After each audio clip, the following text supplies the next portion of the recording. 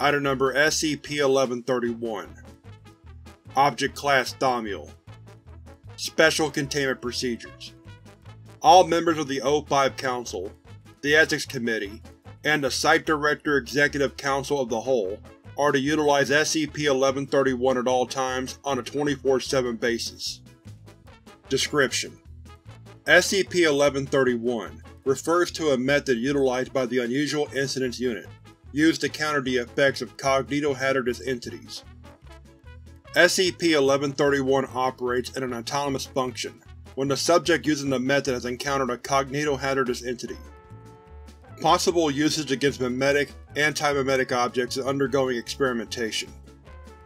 The mind, when affected by a cognitohazardous entity, will undergo a series of chemical changes, heavily varying based upon the goal and power of said entity. These chemical changes are the main source of the properties shown on the affected subject, such as loss of motor function, memory alteration, and quote-unquote mind control. These chemical changes can be completely counteracted via any amount of the element tin, symbol SN, atomic number 50, but only if the tin is covering the majority of the top of the skull. This is commonly achieved via hand-shaped tinfoil wrapped around the head in a fashion similar to a hat. This method is SCP-1131. SCP-1131 works due to the fact that the cognitohazardous properties, auras, and effects that an entity may give out cannot travel through closed tinfoil under any circumstances. With the exception of very few entities, research is ongoing.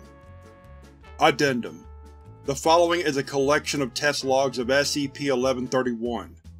Researcher Roy G. Carroll is the overseer for all tests involving SCP-1131. Object: SCP-035 Procedure: A D-Class Personnel D-1131-1 is to be introduced to SCP-035's containment chamber. The subject is then to be questioned as to the effects they are feeling.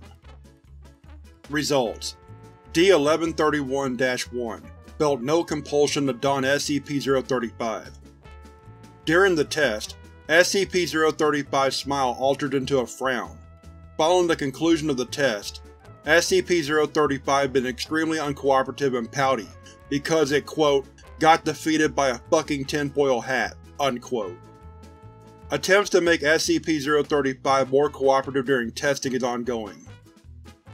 Object: SCP-3213 Procedure: SCP-1131 is to be used on a southern elephant seal. SCP-3213 is then to be introduced into the seal's direct line of sight. Results: SCP-3213 had no effect on the seal. Following introduction to the seal in a controlled testing chamber, SCP-3213 burst out into tears, and said the interaction was quote, the best moment of his life unquote, because he was quote, finally able to hug a seal unquote.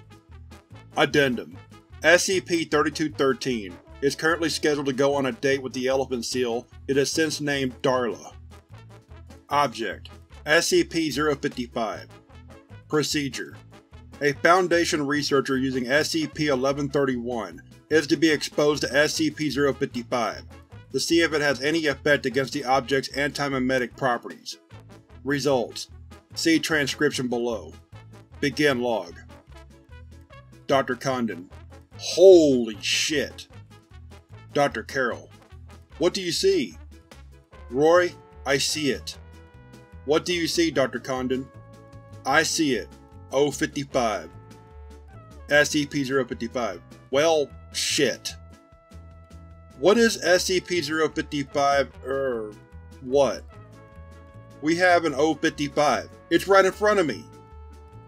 We don't have an O55. What do you see anyway? Don't tell him. It's... Don't do it. It's... It's incredible. What is the object you see? It's a tinfoil hat. With a mouth. Why did you have to ruin the fun?